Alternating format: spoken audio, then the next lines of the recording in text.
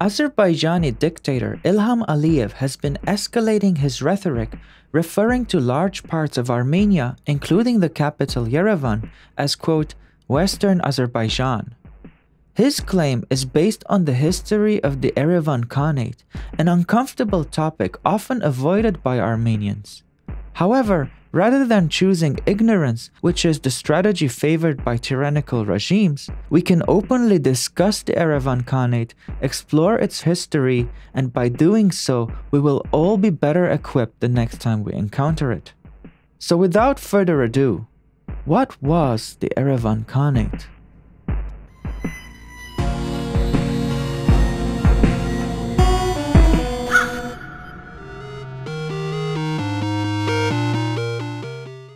Armenia has a long history of being divided amongst empires with different cultural backgrounds. Here's a chart I make to show how long various cultures have ruled over Greater Armenia. Blue here represents an independent Armenian state. Now, let's map that onto a neat timeline so we can see when Armenia had an independent state and when it was under the suzerainty of foreign powers. It's important to note that this graph does not show the demographics of the people living there, nor the local entities governing Armenia, which came in varying degrees of autonomy.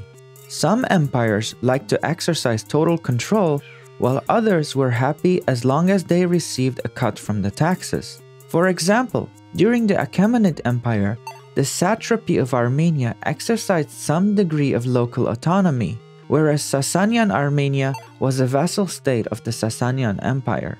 Byzantine Armenia exercised provincial rule during the Byzantine Empire, followed by the Imarat Armenia during Arab rule. Armenian autonomy was significantly reduced under Seljuk and subsequent Turkic Mongol tribes with frequent invasions and changing rulers, while under Georgian rule, Zakharid Armenia existed as a de facto semi-independent state. This continued into a period known as Iranian Armenia when Armenia was part of the Iranian Empire, it is here that the Yerevan Khanate was established in 1747 during the final years of Iranian rule. The Yerevan Khanate covered an area corresponding to most of present-day Armenia, parts of Turkey, and Nakhichevan, with its capital as Yerevan. During its existence under Iranian rule, the Shah of Iran would appoint the Khans who acted as governors of the Khanate. The Khans who governed the Yerevan Khanate were from the Qajar and Afsharid dynasties, who were Iranian dynasties with a Turkoman background. What that means is they were part of the initial wave of Turkic tribes that invaded the Caucasus and ended up assimilating into the cultures where they settled, in this case, Persian or Iranian. The official language of the Khanate was Persian, and other commonly spoken languages were Armenian, Azerbaijani, and Kurdish. The demographic composition included a majority of Muslims and a minority of Christian Armenians. The Muslims were divided into Persians, Kurds, and various Turkic groups, including Azerbaijani Turks. I will explain why this is a very important point later on.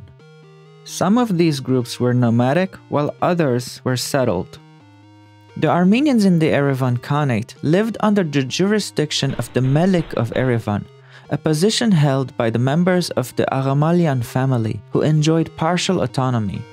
The Melik of Yerevan had the authorization from the Shah to govern the Armenians of the Khanate, possibly bypassing the Khan. Historical records of these rulers are limited, but it does raise intriguing questions regarding the extent of autonomy granted to the Armenian Melikdom, which is particularly interesting considering the inception of the Armenian Melikdom first appears after an administrative reorganization in Iranian Armenia after 1639, which notably predates the Yerevan Khanate. But we are entering speculation territory here, so I digress. The Yerevan Khanate ended with occupation by the Russian Empire in 1827.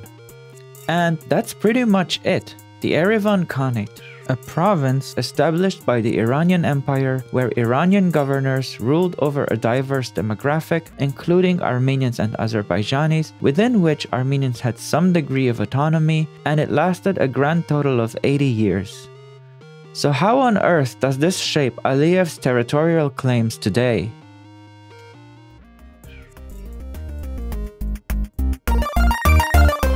In the mid 2000s, Azerbaijan started referring to Armenia as, quote, Western Azerbaijan, with a focus on the Khanates of the Caucasus. Azerbaijani maps began showing Turkic place names over Armenian territory. In his 2019 book, Armenia and Azerbaijan, historian and political scientist Laurence Broers describes this as a fetishization of the Erevan Khanate. Azerbaijani history books portray the Erevan Khanate as an Azerbaijani state, inhabited predominantly by Azerbaijani Turks. In those books, the term Azerbaijani Turk and Muslim are often used interchangeably to describe the inhabitants of the Erevan Khanate, despite us having historical surveys which identify diverse groups like Persians, Kurds, and various other Turkic tribes under the term Muslim. For more on that, I have a dedicated video debunking some of the most outrageous claims in Azerbaijani history school books. You'd be shocked at what they teach children in that country. But this entire narrative, as Broers predicted in 2019, would extend to future territorial claims, and unfortunately, his predictions have come true. Many international bodies, including the European Parliament, have condemned these territorial claims on, quote, so called Western Azerbaijan, end quote. In all likelihood, this is probably a calculated move by Aliyev to pressure Armenia into relinquishing its claims on Artsakh. Except, Artsakh actually has a well documented history of continuous Armenian governance and settlement stretching back millennia. By conflating Artsakh with the Khanate, Aliyev distorts history and fabricates a false parallel, which he uses to undermine the territorial claims of Armenians he expelled from Artsakh.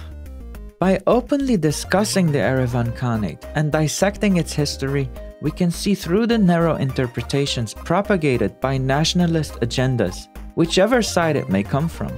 Whether Azerbaijanis or Armenians, like it or not, the 80 year period of the Erevan Khanate is a chapter in Yerevan's millennia spanning history, a history with the constant presence of Armenians through every single chapter, including the one chapter that's currently being misappropriated by the Aliyev regime.